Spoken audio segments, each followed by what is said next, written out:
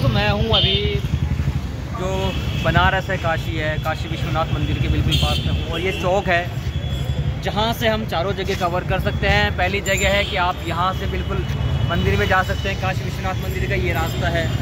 दूसरा, आप चाहें तो आप बी जा सकते हैं। उसके अलावा अगर आप चाहें तो मार्केट घूम सकते हैं। ये घाट पर जाता है रास्ता। और यहाँ से हम जो आते हैं, इस ये रूट हो गया जहाँ से हम आते हैं। बस स्टैंड या रेलवे स्टेशन से हम यहाँ इधर से आते हैं। तो ये चौक है और इस चौक का ये मैप है, मैप मैप दिखा देता हूँ आपको।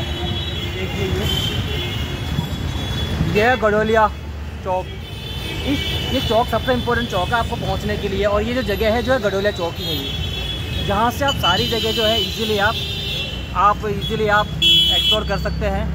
तो इस मैप को देख लीजिए और यहीं पे आपको धर्मशाला लेना चाहते हैं, धर्मशाला मिल सकती है गेस्ट हाउस लेना चाहते हैं वो गेस्ट हाउस मिल जाएगा आपको। और मार्केट बहुत अच्छा है, अभी तो फिर भी भीड़ नहीं है यहाँ पे, लेकिन भीड़ बहुत होती है तो आप उसको भी देख सकते हैं, दर्शन कर सकते हैं, रात को ग्यारह बजे तक मंदिर खुला हुआ रहता है, और मणिकर्णी का घाट, आपको अपनी ज़िंदगी से अगर ज़्यादा प्यार हो तो आप मणिकर्णी का घाट देख सकते हैं, और बिल्कुल प्यार नहीं हो तो आप अस्सी घाट देख सकते हैं, क्योंकि बीएचयू का सारा क्राउड वहीं अस्सी घाट में मिलता है।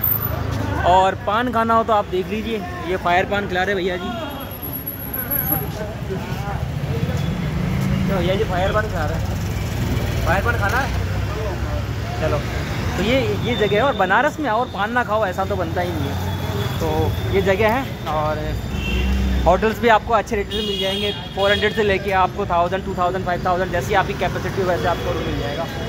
बाकी सबसे अच्छी चीज़ है कि यहाँ से आप सारा जो वॉकिंग है, वो घूम सकते हैं। आपको मज़ा आएगा चीज़ें देखने में। ठीक है दोस्तों तो ये था मेरा बनारस से। आपको इनविटेशन की, आप आए हैं और काशी विश्वनाथ के दर्शन करें। और उम्मीद करता हूँ कि आपको ये अच्छा लगेगा। लेकिन देख ही रहे हैं, माहौल बहुत अच्छा हो गया है। देखिए कैसा माहौल है। तो माहौल बहुत अच्छा है, और आप चाहें तो इसे अपने प्लान में डाल सकते हैं। बहुत अच्छी जगह है बनारस। आना चाहिए, हर किसी को एक बार ज़रूर आना चाहिए।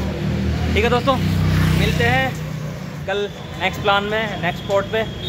कौन सा होगा, रात को सोचेंगे और कल डालते हैं। ठीक है? जय महाकाल, जय काशी विश्वनाथ। Thank you